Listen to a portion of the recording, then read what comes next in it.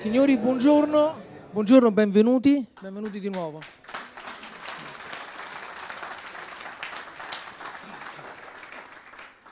Allora, carissimi chitarristi, appassionati e liutai, prima di ogni altra cosa un ringraziamento da parte dell'associazione Chitarra In per essere oggi presenti in questa sala a partecipare con noi a un momento di grandissima gioia per il mondo della chitarra classica.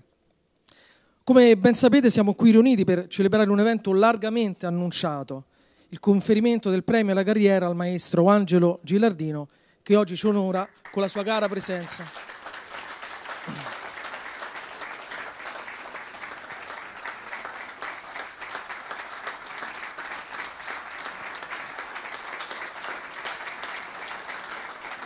Numerosi sono stati i premi a lui attribuiti negli anni, sia in ambito nazionale che internazionale. La decisione di conferire questo ulteriore premio è stata presa in modo unanime nello scorso mese di maggio dal comitato scientifico della nostra associazione, nelle persone del decano maestro Bruno Battisti da Mario e dei maestri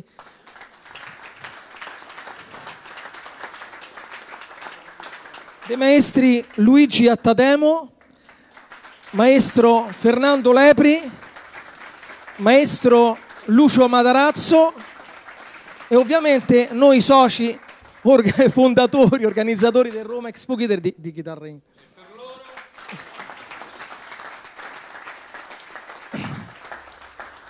Allora, riteniamo che questo premio si debba differenziare da numerosi precedenti per essere, anziché un premio, un atto di ringraziamento e credo che un sentito grazie sorga spontaneo dal cuore di tutti i presenti in questa sala, rappresentando la riconoscenza per quanto ricevuto. Grazie Maestro.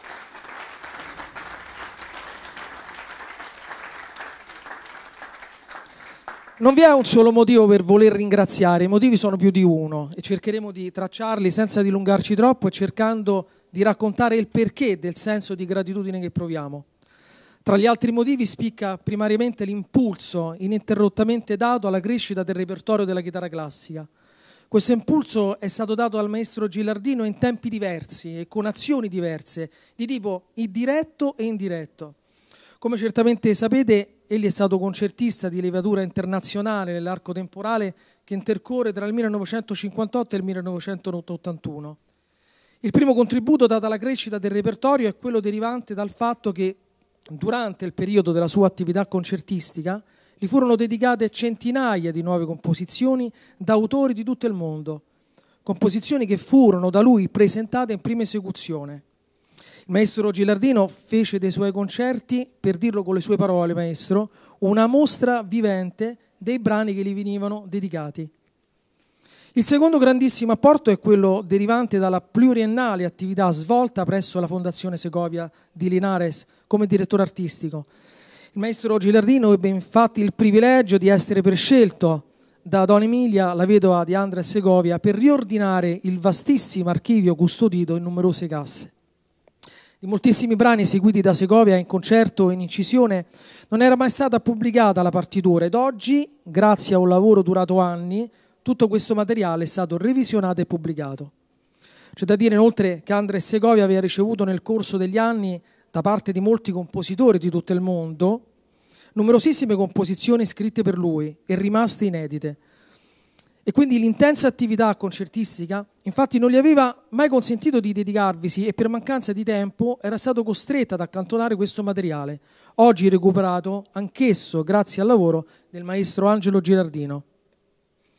Un terzo ulteriore fondamentale contributo del maestro Gilardino al repertorio è stato dato dall'attività di compositore in senso lato, che si intreccia in parte anche con quello di didatta della chitarra. L'elenco delle composizioni per chitarra sola, per chitarra e insieme di chitarre, per chitarra e orchestra è lunghissimo. Importanti registrazioni di queste composizioni sono state effettuate dai migliori strumentisti di quest'epoca non ci soffermeremo a citarli, ma alcuni di questi grandi interpreti sono qui con noi per onorare con la loro presenza questo momento di omaggio al maestro Gilardino. Un quarto ulteriore apporto alla crescita del repertorio chitarristico è dovuto all'attività di ricercatore e musicologo. Brani dimenticati, autori persi nel ricordo, sono stati riportati in vita grazie all'incessante attività di ricerca, vissuta come se fosse una meravigliosa avventura. Ne citiamo due in particolare, sappiamo che sono a lui particolarmente cari. La lettura del libro autobiografico Io, la chitarra ed altri incontri ci ha fatto rivivere con fresca spontaneità le emozioni che hanno accompagnato il maestro Girardino nella riscoperta dell'opera di Antonio José Martínez Palacio da Burgos, autore dell'incancellabile Sonata para chitarra, morto fucilato durante la guerra civile spagnola all'alba dell'11 ottobre 1936, solo a causa delle sue idee socialiste e libertarie. In quelle commoventi pagine il maestro conversa affettuosamente col musicista prematuramente scomparso, svelandoci il trasporto con cui affronta le sue attività di ricerca, in un dialogo con i maestri del passato che supera la barriera del tempo. Le pagine dedicate a Ottorino Respighi, scritte in forma di lettera al musicista, sono anche il racconto di un viaggio pluriennale che portò il maestro Gilardino a rinvenire nell'archivio Mozzani un manoscritto autografo per chitarra a 12 pezzi, anche qui si narrano emozioni, le emozioni della mente di un musicista dedito a cercare e ritrovare tesori dimenticati. C'è tantissimo ancora da dire, ma Gilardino ci ha narrato anche di una cosa su cui non desideriamo sorvelare. Il ricchissimo e stimolante rapporto di scambio con Mario Castelnuovo tedesco, iniziato con una lettera pervenutogli nel febbraio del 76 da Beverly Hills, continuato negli anni fino a tutt'oggi fino al recente evento di presentazione a Montecitorio del libro a lui dedicato in occasione del cinquantenario della morte. Non desideriamo dilungarci ancora troppo, ma ci sono altri due motivi di ringraziamento che non possiamo tralasciare, quello inerente al didatta e quello relativo alla pluridecennale attività presso la casa editrice Berben. Gilardino è stato dapprima insegnante in ambito istituzionale e successivamente in corsi e masterclass in ambito internazionale e nazionale la intensa attività di didatta in lui si intreccia con quella di compositore, anche se in questa esposizione abbiamo estrapolato alcuni aspetti di una personalità così ricca e articolata, i due momenti si potenziano a vicenda. Chi si è cimentato con gli studi di virtuosità e trascendenza sa di cosa stiamo parlando. Angelo Girardino, didatta, ha inoltre il grande merito di non interferire con le soluzioni interpretative dei suoi allievi, portandoli invece a scoprire quello che hanno dentro di sé ed occupandosi solo di gestire il loro processo di formazione e fornire l'aiuto necessario a rimuovere le incertezze, avvallando anche in soggetti diversi interpretazioni differenti dello stesso brano. Per questa scelta didattica, i concertisti che sono stati allievi del maestro Gilardino non sono chitarristi fotocopia e anche questo è un ulteriore motivo di riconoscenza. Non è possibile concludere questo atto senza citare l'instancabile attività di editor musicale svolta presso la casa editrice Berben dal 1967 ad oggi e senza dire del grande piacere che ci ha dato la lettura dei numerosi libri scritti dal maestro Gilardino. Due in particolare sono i nostri prediletti. Il primo di cui abbiamo già accennato è il bellissimo libro a carattere autobiografico, Io, la chitarra ed altri incontri, memoria di un artista, 14 lettere indirizzate a persone importanti nella sua vita. E il secondo, ricchissimo di notazioni ed aneddoti, è La chitarra, lezioni private, guido all'ascolto del repertorio da concerto, che ci ha spinto all'ascolto di alcuni autori che avevamo trascurato. Anche di questi libri, maestro, porgiamo ringraziamento. Porgo ora la parola al maestro Luigi Attademo per la lettura delle motivazioni.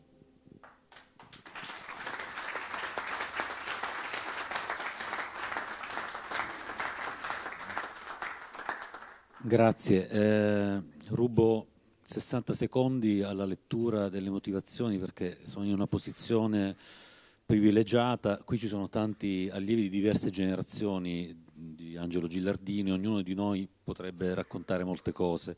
Io voglio dire solo due piccole cose che non sono contenute nelle motivazioni, che però per me hanno un, certo valore, hanno avuto un certo valore eh, nel magistero di, di, di Angelo Gilardino. Eh, innanzitutto la prima cosa è che eh, ha sempre, eh, mi ha sempre stimolato a guardare prima la musica e poi lo strumento con cui io lo, la, la realizzavo. E non posso dimenticare, sono molto forti queste immagini, nel momento in cui a casa sua generosamente prendeva un, un disco in vinile, lo metteva sul piatto e svelava all'epoca a me diciottenne eh, interpreti eh, che a me erano in quel momento ignoti che poi sarebbero diventati comunque diciamo, dei, indirettamente dei maestri. E indicare questa strada proprio in modo maieutico, eh, di questo gli sono veramente molto grato.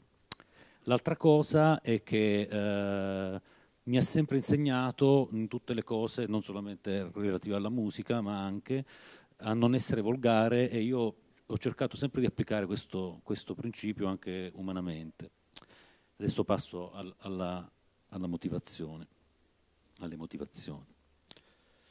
Premio Roma Expo Guitars alla carriera al maestro Angelo Gilardino, compositore, musicologo, didatta.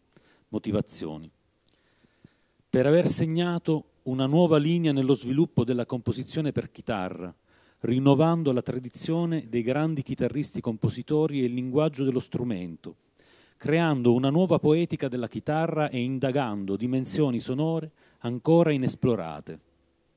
Per aver contribuito a illuminare la storia della chitarra con le sue ricerche e i suoi contributi musicologici, per aver curato la pubblicazione di opere inedite del repertorio chitarristico, in particolare con la collana dell'Archivio Segovia, recuperando parte di un importante patrimonio musicale che altrimenti sarebbe andato perduto, per aver tracciato una nuova frontiera nella didattica italiana, con la stesura di un trattato che ha rivoluzionato le idee tecnico-strumentali fino ad allora prevalenti.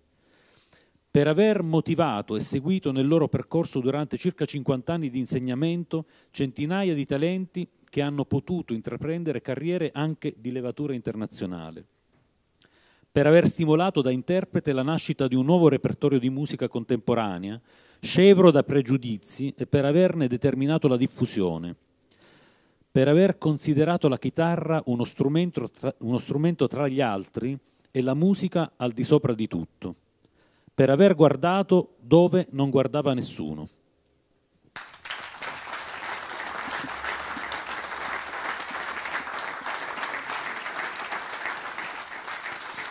Ovviamente invitiamo sul palco il maestro Angelo Gilardino.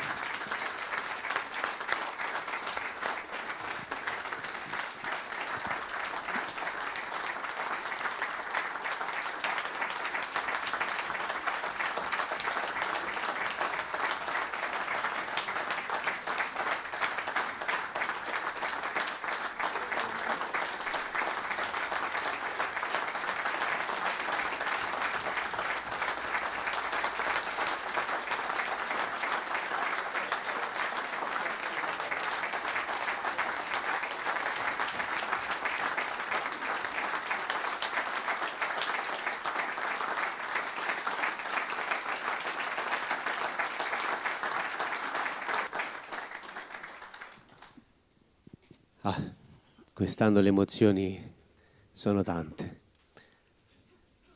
Ora inviterei il direttore Filippo Michelangeli, direttore di Suonare News e Sei Corde, qui sul palco eh, eh, per consegnare la targa del premio alla carriera in questo bellissimo momento.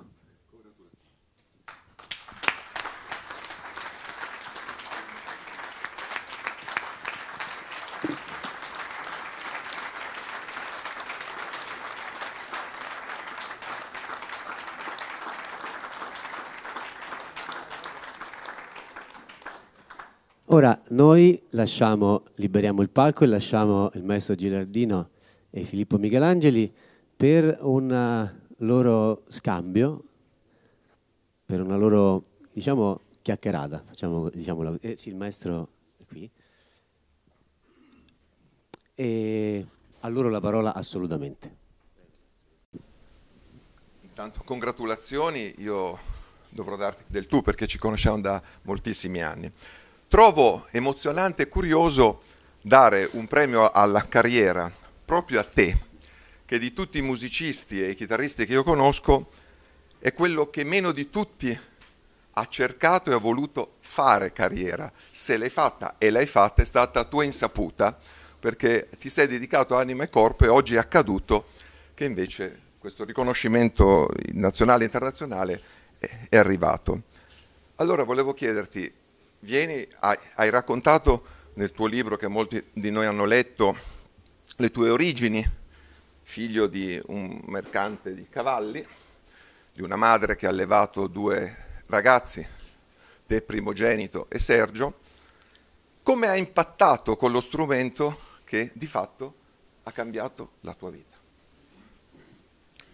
È stato in effetti un impatto perché non c'è stata alcuna preparazione e nessun preannuncio eh, all'incontro con la chitarra, che è stato anche eh, l'incontro con la musica. Le due entità non si sono rivelate separatamente o gradualmente. Può accadere di scegliere di diventare pianista dopo aver ascoltato un concerto sinfonico o Invece nel caso mio la conoscenza della musica che mi era del tutto aliena e la conoscenza della chitarra sono avvenute nello stesso evento contemporaneamente l'11 aprile del 1951 a Modena quando credendo di andare ad assistere a un film, alla proiezione di un film, in realtà entrai in un luogo dove si sarebbe svolto un concerto. Quella in effetti era una sala cinematografica, una sala polivalente, quale, eh, nella quale quella sera si sarebbe svolto non la proiezione di un film, ma un concerto di cui ignoravo tutto. E io ricordo ancora quell'evento come se fosse eh, ieri sera. Sul palco salì una donna bellissima con una lunga chioma corvina e un vestito a, a, a gonna ampia color acqua marina e incominciò a suonare e dopo pochi minuti la mia vita era cambiata. Era,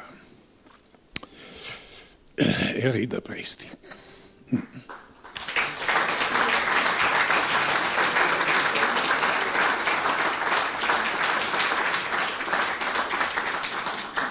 In un'epoca di specializzazione fortissima, dove ci sono interpreti che si specializzano nel barocco, nell'Ottocento, nella musica contemporanea, nella cameristica, tu rappresenti una eccezione curiosissima anche qua, chitarrista prima, compositore, didatta, storico della chitarra, autore di saggi, conferenziere, se non inteso male, qui ci sono tanti amici liutai, forse l'unica cosa in cui non ti sei cimentato è nel costruire una chitarra, però sicuramente sei stato vicinissimo alla liuteria perché hai pubblicato libri importanti, saggi e liutai li hai frequentati, mm, eh, diciamo, e hai irrorato la tua energia anche lì. In tutte queste dimensioni di solito si dice artista eclettico e c'è il gusto dell'iperbole, qui è veramente per diminuzione perché tutto hai fatto e tutto a livelli di eccellenza internazionale. In quale dimensione tra tutte ti riconosci di più?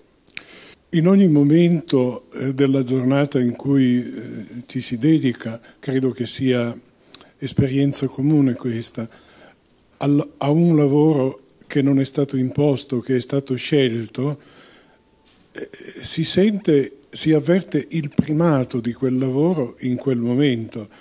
E quando compongo mi domando perché ho fatto anche qualcos'altro, ma eh, quando in una biblioteca di provincia tiro fuori da un mucchio di vecchi scartari eh, dei fogli ingialliti e riconosco, prima ancora di leggere il nome, la, la calligrafia musicale di Ottorino Respighi, mi domando perché mai io non abbia dedicato l'intera mia vita a quel tipo di ricerca, abbia fatto anche qualcos'altro. E ogni aspetto del fare musica, al di là delle sue competenze, delle competenze specifiche che richiede, del sapere acuminato che richiede in ogni aspetto della, della singola disciplina, eh, c'è qualcosa di unico, di essenziale e di impagabile che colma quel momento e lo rende insostituibile. E quindi Eh, come musicologo, eh, sono un musicologo della domenica rispetto a quelli che hanno, fatto, eh, hanno seguito una formazione, eh, però Troia l'ha scoperto un dilettante, Schliemann, ecco, e non gli archeologi di professione. come compositore non ho scritto un'opera, delle sinfonie, eccetera, perché non erano necessarie, però ho impiegato la chitarra, per esempio, con l'orchestra in un modo eh, che non sarebbe stato accessibile a quei grandi compositori dei quali io sarei stato un epigono se avessi scritto per orchestra. Eh, capisci? Ecco. La produzione per, eh, di opere nuove che hai fatto è molto ampia, si può dire oggi a ben diritto che sei un autore prolifico. Hai scritto moltissimo per chitarra sola, 17 opere per e con chitarra, che avendo la chitarra con l'orchestra ti hanno anche messo all'attenzione della comunità musicale italiana e internazionale che di solito guarda poco verso il nostro strumento, invece in questo caso si sono dovuti avvicinare anche a loro e poi tante altre cose. Oggi che sei qui eh, a una specie di compendio di tutta la tua lunga e speriamo ancora lunghissima attività creativa, hai voglia di dirci qui davanti alla comunità chitarristica quali sono le opere che hai scritto a cui sei più affezionato e che chiudendo gli occhi immagini che possano resistere di più al tempo essere imporsi nei prossimi secoli? Non te lo posso dire con occhio critico, un occhio del quale ovviamente non dispongo. Te lo posso dire in termini così eh, quasi visionari, profetici.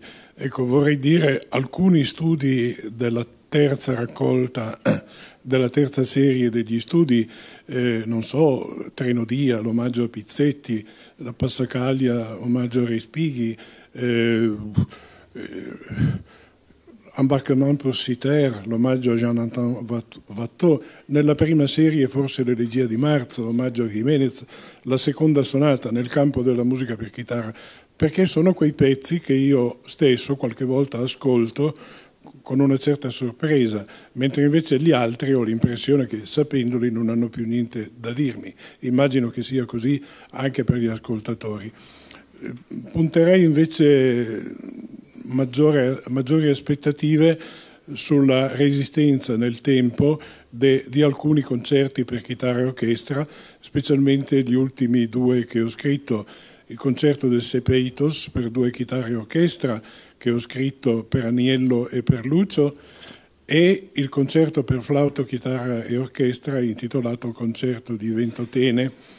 Ecco, io credo che in queste opere sono riuscito a spremere tutto quello che avevo dentro in un'operazione che, sebbene si tratti di opere di una certa ampiezza, posso definire sintetica perché non ho lasciato fuori niente e perché quello che non è rimasto fuori è, è stato, non, non, è rimasto inespresso, è venuto fuori nel, nel modo più, più, forte, più diretto.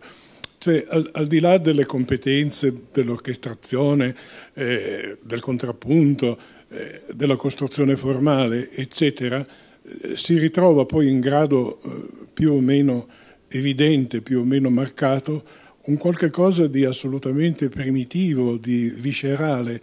Il compositore eh, che riesce a farcela è quello che, al di là delle tecniche, sa scavare dentro di sé fino a far uscire eh, qualcosa che è del tutto istintivo, vorrei dire animalesco. Bene, io mm, vorrei stare ancora più a lungo, ma c'è spazio per un concerto, solo ancora due domande e poi ascolteremo Saggese che farà un bellissimo concerto. Hai scoperto o riscoperto composizioni che si davano perduto, di cui si ignorava l'esistenza, quelle che tutti noi chitarristi conosciamo e che abbiamo nell'immaginario, ormai che sono diventate di repertorio, primeggia la sonata di Cosè, le variazioni di Respighi, il concerto di Asafiev e c'è tutto l'archivio Segovia 2, chiamiamolo, diciamo, quello arrivato dopo. Che cosa accade quando un compositore come te scopre o riscopre un'opera di un collega? Corrispondenza d'amorosi sensi. I sepolcri, ecco, celeste è questa corrispondenza d'amorosi sensi.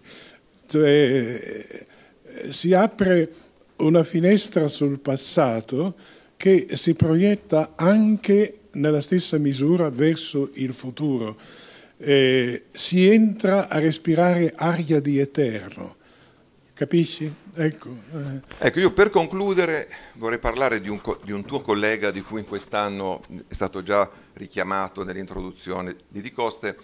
Quest'anno è il cinquantenario della morte di Mario Costano tedesco, che è un compositore che ha scritto anche per chitarra, ma in realtà ha 200 numeri d'opera di tutto. E però è toccato a un chitarrista, il eh, maestro Gilardino, recuperarne in una biografia che si legge d'un fiato perché è avvincente la storia. E siccome noi chitarristi veniamo rimproverati a volte di avere, di, di aver bisogno dell'imbeccata di altri per darci stimolo, io vorrei ricordare con orgoglio, e qui mi unisco al coro dei ringraziamenti, che in realtà in questo diciamo, in questa occasione siamo stati noi a mettere la bandierina su questo cinquantesimo anniversario di un compositore importante, poco conosciuto perché ha dovuto emigrare negli Stati Uniti per via delle leggi razziali e, e quindi vorrei, vorrei, ringraziarti perché questo è merito di un chitarrista compositore che ha ritrovato in un collega più anziano un, uh, una fonte di ispirazione. Ma a proposito di ispirazione, Castiglione Tedesco, che tutti noi conosciamo perché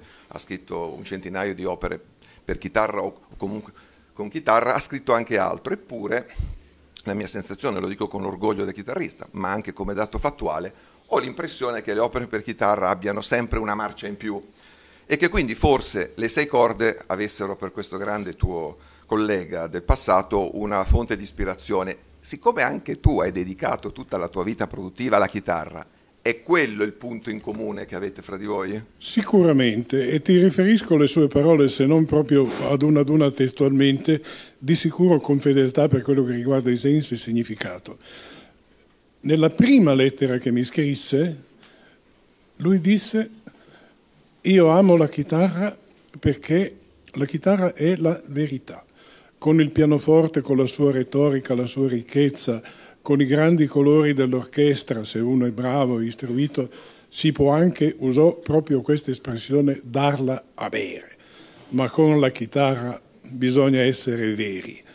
È secondo me un artista che non punta all'espressione diretta, veritiera, completamente priva di retorica e di eh,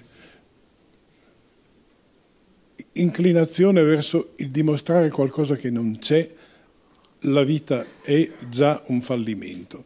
Castelnuovo tedesco, al di là delle pressioni veramente incombenti che gli rivolgeva Segovia, ecco, eh, scelse la chitarra perché era per lui una, un obbligo all'essenzialità e quindi la garanzia della verità.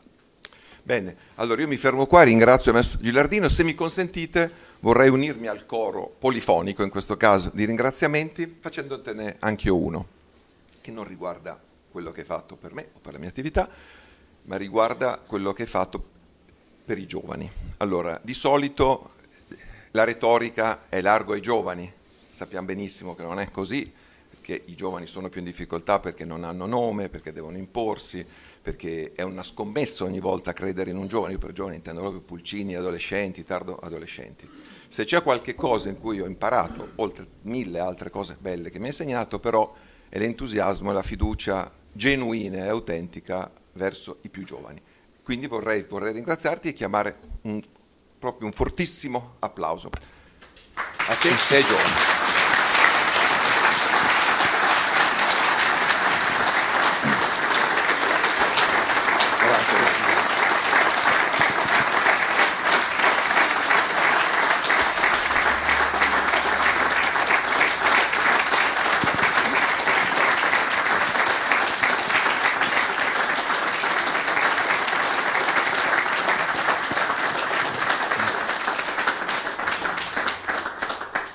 Vorrei dire doverosamente e anche molto volentieri eh, una parola riguardo all'evento al quale stiamo per assistere.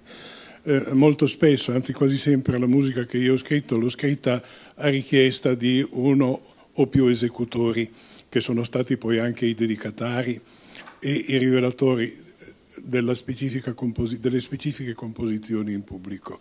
Doveva essere qui oggi per eseguire questa sonata Lettere a Friedrich il suo committente e dedicatario, il grande chitarrista polacco Lukasz Kuropacewski, che purtroppo per ragioni di salute manifestatesi improvvisamente con dei disagi, voglia il cielo che non siano, eh, che siano solamente passeggeri, non ha potuto esserci. E io ho assistito a qualche cosa a cui nonostante eh, la mia lunga navigazione nel mondo della musica, non solo della chitarra, stento ancora a credere, cioè che una sonata di queste dimensioni, di questo impegno, venga eseguita oggi da Christian Saggese, che io non, non, definisco più mio allievo perché a questo livello di maestri ne può avere solo uno, ecco, e, e, e costui eh, l'ha imparata in meno di due settimane. Stento a crederci.